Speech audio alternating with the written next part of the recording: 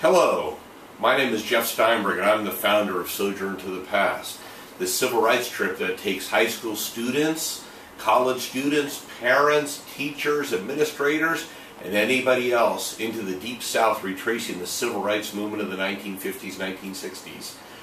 Today I'm going to walk you through a number of places we visit, moments in the civil rights movement that helped define this country, and people we meet along the way. This Time magazine article came out last year and called Dr. King a founding father. When we think of founding fathers, we think of Thomas Jefferson, George Washington, but Dr. King a founding father? Well, let's take a look, please. American freedom and democracy was not just founded in Philadelphia in 1776, but true American freedom and democracy was also founded in the American South in the 1950s, 1960s. So the people I'm about to introduce to you are the real founding fathers and founding mothers of this country also. And shockingly, many are not in our history books, but they're going to meet us along our travels. One of the first stops on our travels is Central High School in Little Rock, Arkansas. You see the photo of the high school, 1957. This is one of the first schools in the American South to desegregate. It is one of the biggest schools I've ever seen. Students go to school on the first floor, second floor, third floor, fourth floor. There's even a fifth floor. It's huge. 1957. These nine black students volunteered to go to high school here. Our speaker is Elizabeth Eckford. These nine students, when I say they volunteered to go there, first day of school, they were very nervous. Many went with their parents, many went with their families. Elizabeth took the bus. Why? It's her first day of school. When she shows up at school, she sees the Arkansas National Guard. Arkansas National Guard, who is there supposed to protect students, in all actuality, is there not to let the nine black students in. Elizabeth shows up and the guard points her down the street. Elizabeth, as he points her down the street, he sticks his gun out in front of her and says, You're not getting in. Excuse me, she's 15 years old. She's a sophomore. You're not going to let her in? Look what he does. He doesn't even give her the courtesy of looking her in the eye. He points her down the street. Elizabeth, I'm sorry, where am I supposed to go? She's asking. They've let the white student in. As Elizabeth is walking down the street by herself, there's a mob of 150 people. Notice my language, not a crowd, a mob. They see her. And as they see her, take a look at this photo. They run up behind her, cussing at her, spitting on her, calling her racial names. Please notice the photo. This is an adult man. That's an adult woman. That's an adult woman. Look at her mouth. You know some of these adults said to this 15 year old child? They said, let's drag her to this tree and let's hang her. Hang a 15 year old for wanting education in our country. All she wanted to do, she wanted to go to school. Elizabeth made it to the bus stop. She made it home. When she went home, she took off that dress. She had made that dress for her first day of school. She was so proud she made her own clothes. She never wore that dress again. Why? She said when she took off her dress, adults, not kids, adults, had spit all over her. What's more degrading than an adult spitting on a child? Take a look at this photo. This is one of the, this was voted one of the top 100 photos of the last 100 years. This white woman's name is Hazel. You see Elizabeth, a white woman screaming at her we ask students, look at her face. Look at her face. What words come to your mind that describe the look on her face? Hatred, ugly, fear, despair.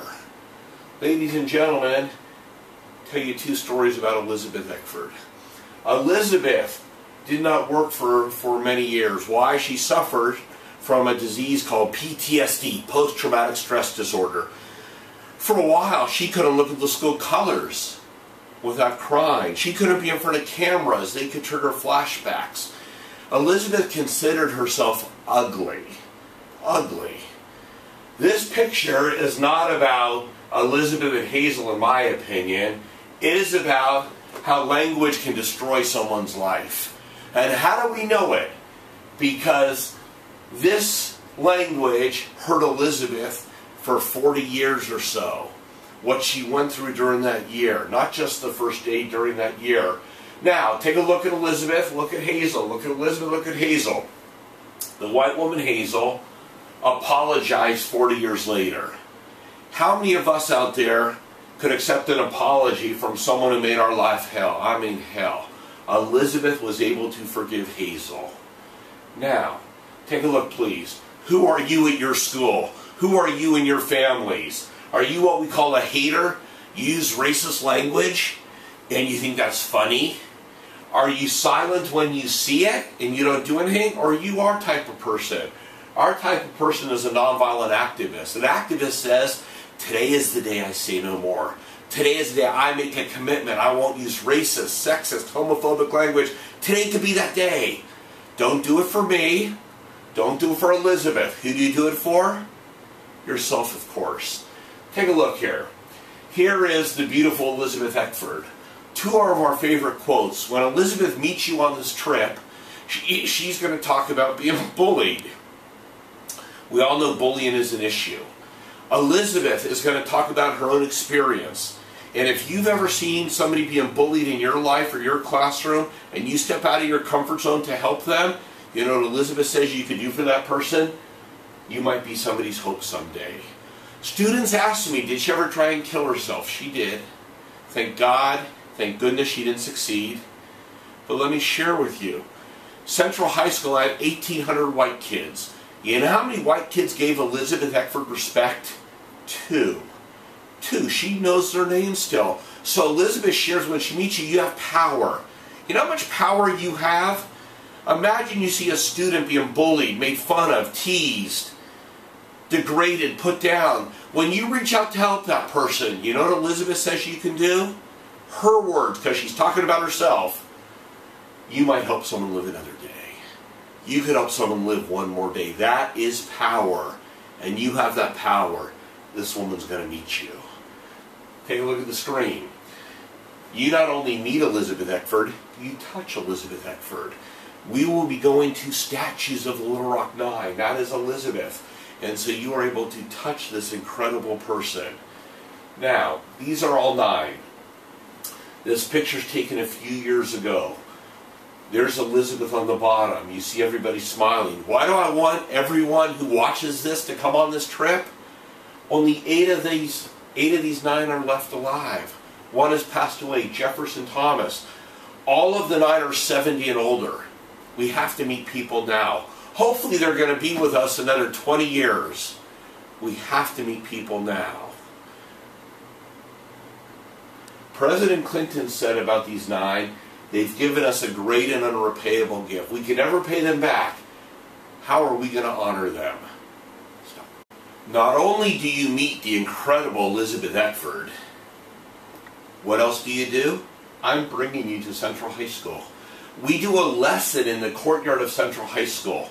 You are in the spot where Elizabeth walked that first day of school. This is the real photo. How did they finally get in? We said the Arkansas National Guard state troops kept them out. They, President Eisenhower had to bring in the U.S. Army, the 101st Airborne, to get them in. This is the actual photo. These are the nine walking up the steps of Central High School on their first day. What are you going to do? You are walking in those exact same footsteps. You're walking in historical footprints. How did Elizabeth get through this? This trip is about nonviolence. Nonviolence believes the universe is on the side of justice. The nonviolent resistor has deep faith that justice will eventually win. So what are you doing in Little Rock? You're meeting Elizabeth Eckford. You're going to her statues. You're going to the high school. And you're going to the Central High Visitors Museum, which is an incredible museum. It's an amazing time and an amazing day with Elizabeth Eckford.